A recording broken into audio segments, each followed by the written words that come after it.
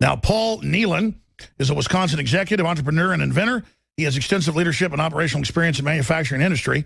Boy, he needs more lawyers, as well as a record of restoring jobs in American economy. Mr. Nehlen is challenging the Speaker of the United States Representatives, uh, that's uh, Paul Ryan, uh, in Wisconsin's first congressional district Republican primary election, August 9th. So that's coming up here. Uh, boom, tomorrow, Mr. Nehlen serves as Senior Vice President of Operations for his company that leads the industry in water filtration. We were just talking about that. And uh, disinfection technologies, or civilization, I would say. Since 2013, Mr. Nehlen has served as an advisory board member of Operation Homefront, a Wisconsin nonprofit organization with strong record of bringing direct financial assistance to the families of active duty service members. Paul Nehlen, N-E-H-L-E-N dot com.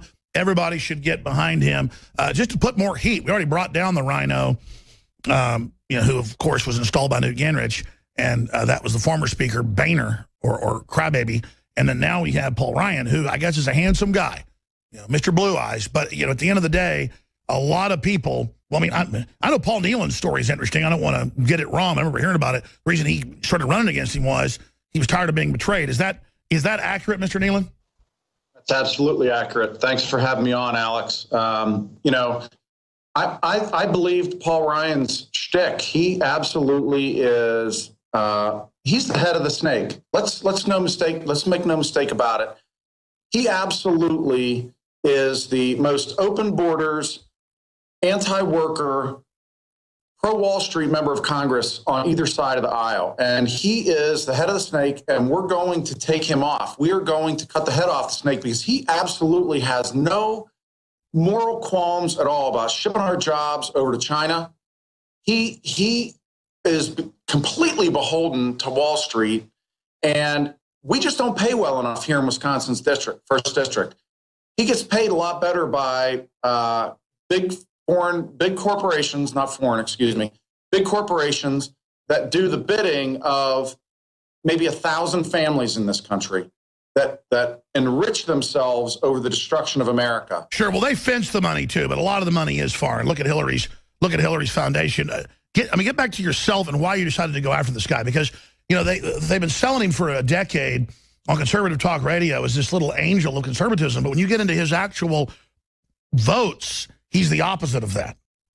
Exactly right. I, I, I'll, I'll out myself and say, hey, I was a Paul Ryan supporter until he came out as the mercenary champion of Fast Track Trade Promotion Authority uh, for this Trans Pacific Partnership. And when I read that, I read what Senator Sessions, uh, God bless him, went out and, and reported on it.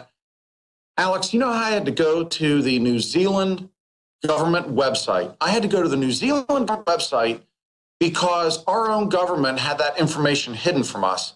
And you know what? I found out that everything that Senator Sessions reported on was absolutely true by going to the New Zealand website. Article 27 of TPP gives up U.S. sovereignty.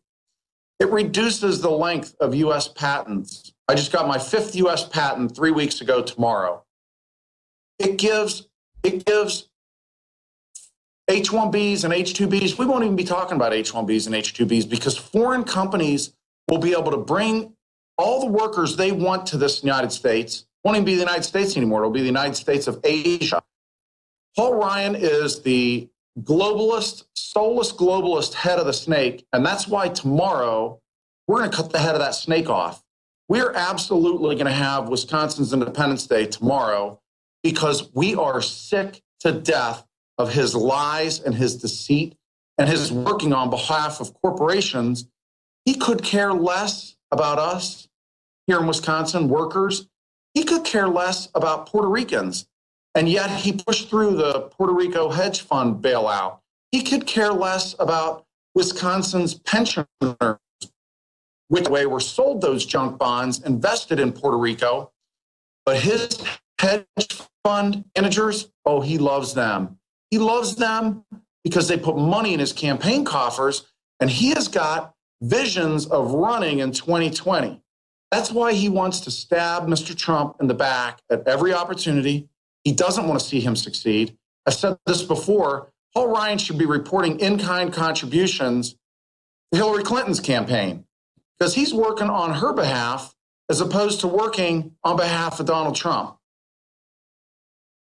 Well, I like in your race and others, win, lose, or draw is patriotic duty, and I appreciate your time and energy to do this because you know, I, mean, I remember you talking about when you first started running, how, how, how folks have been betrayed by him.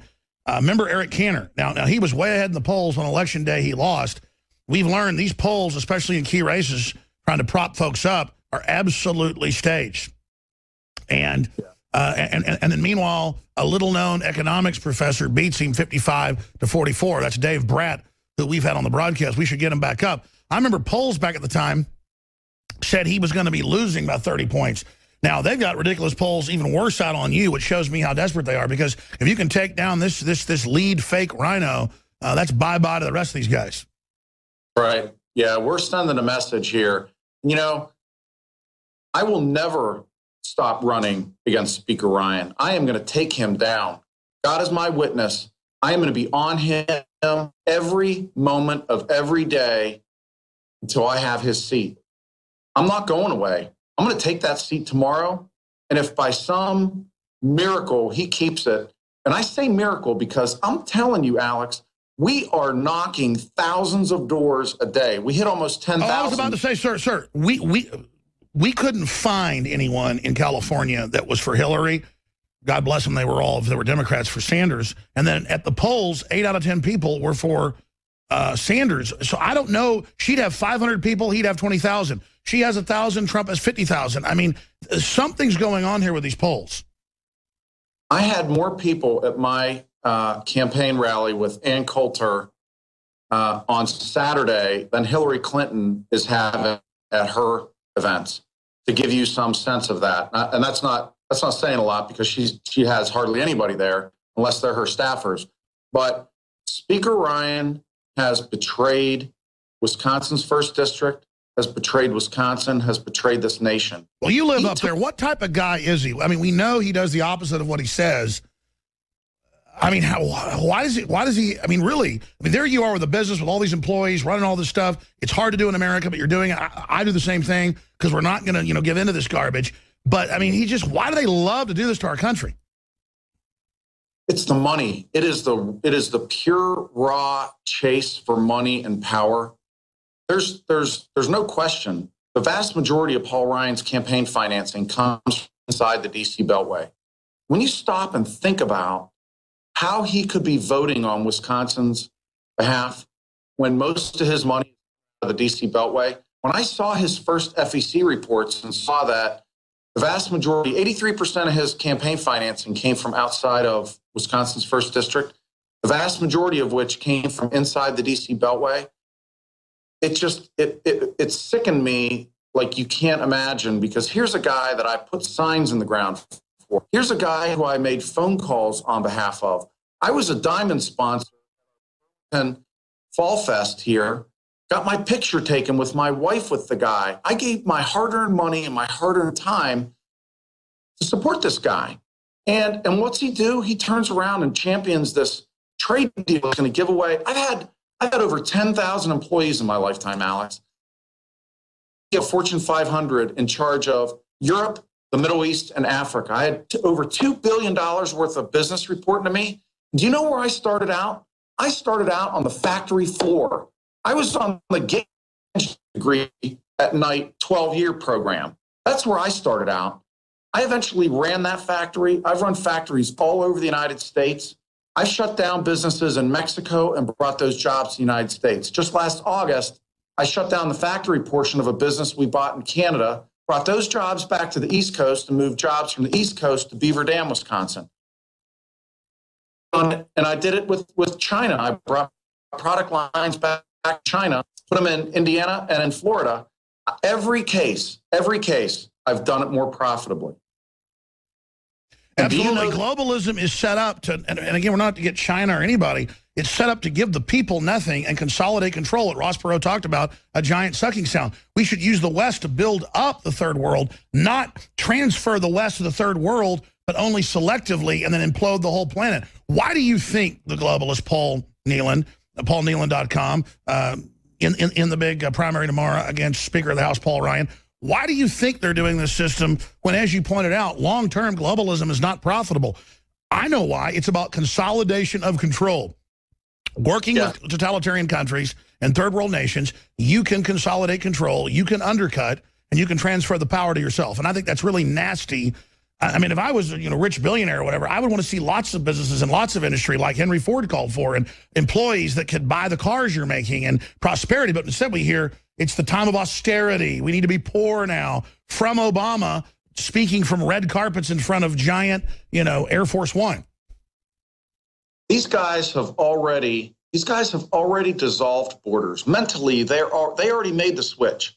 The rest of us are considered considered serfs to them. And, That's right. They got a plan, and we're in the way of it. Right. That's exactly right. And and you know that as I've been campaigning around this district and I've been getting some more notoriety, these guys are doing everything they can. The Wisconsin GOP, the party machine, uh, Reince Priebus, and the entire the entire machine is so clamped down on the levers of power and and and wanting to stay on those levers of power to keep me from from securing America's jobs. They want open borders so bad. Paul Ryan couldn't help but say on CNN on his uh, I was calling it the CNN Never Trump infomercial. Paul Ryan was on there talking about how we need to keep us we need to change immigration laws so we can keep a steady stream of low cost labor coming into this country. I mean, to have somebody say we need to keep down wages in this country, the entire time Paul Ryan has been in Congress, the last 18 years, wages have been down. You go to the grocery store, things cost more. We've actually, we're actually losing ground in the middle class. Forget about, forget about um, inner city or or anywhere. Uh, people just getting onto the just getting onto the ladder. Um, African Americans, recent legal immigrants, recent legal immigrants in my district to me, we we worked hard to come here. We love this country. We we say the Pledge of Allegiance. We we salute the flag. We country, and and we will be damned if we want Speaker Ryan to let everybody in here in front of us. We have illegal immigration. Well, absolutely. System. And again, I can't go to China or Mexico and show up and have my baby for free, and then the baby's a citizen, and I get uh, they sell it as this loving thing. They're using the immigrants to drive down the wages. They're using them as a new political group they can control. And again, none of these countries would let us do this there. This is this is they've used America's openness. The globalists have, and and look, I I think you and and many others, um, like Brat, are really the bellwether. And whether you win tomorrow or not, it doesn't matter because you're going to win long term. As you said, you're never going to give up. You started out on the factory floor, 12 years, you know, in college, getting through that, you know, and then managing, you know, billions of dollars a year worldwide and running things. You're a hardworking, smart guy. And that's the secret in this world is people are actually looking for folks that are smart, want to take action, don't want to just be jellyfish. And it is that spirit, that awakening to the tyranny that you can't put the genie back in the bottle, in my view. I don't see how the globalists are going to get their program through when when look at the Brexit. Look, I, I think the tide's turning. Absolutely, I've got friends over in London. I lived when I when I was running uh, those those other regions.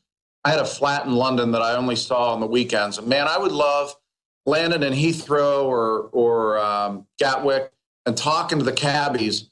Man, did they? I, I used to love uh, running them up. And thank God you guys stayed on the pound, and thank God Poland stayed on the zloty and thank God Denmark stayed on the kroner because otherwise they've got you by the short hairs. They absolutely have you.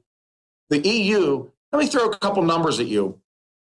There are 5.5 billion people with a B that make less per day than the average Mexican worker. So what are we going to do? We're going to move them all here. We are going to give them all an opportunity here, put them all on uh, uh, welfare and uh, social assistance. Paul Ryan took money away from our veterans to give to illegal alien welfare. He did that. When, I, when when when you think about what Paul Ryan is capable of doing and what he's look, done, he's a monster. But just like Ted Bundy, he's a handsome guy uh, so you don't understand you're getting in a yellow Volkswagen. Uh, Paul Nehlen, paulnehlen.com. I hope you win tomorrow. Regardless, you've won by taking action, engaging the public, uh, injecting real issues. Folks can contribute, paulnehlen.com. We got family in Wisconsin, you're up there. Get out and vote for this guy in the Republican primary. Look forward to speaking to you in the future, my friend, and hopefully when you're a congressman. Thank you, Paul. All right, we'll be back, ladies and gentlemen, with more news and more guests straight ahead. I'm Alex Jones.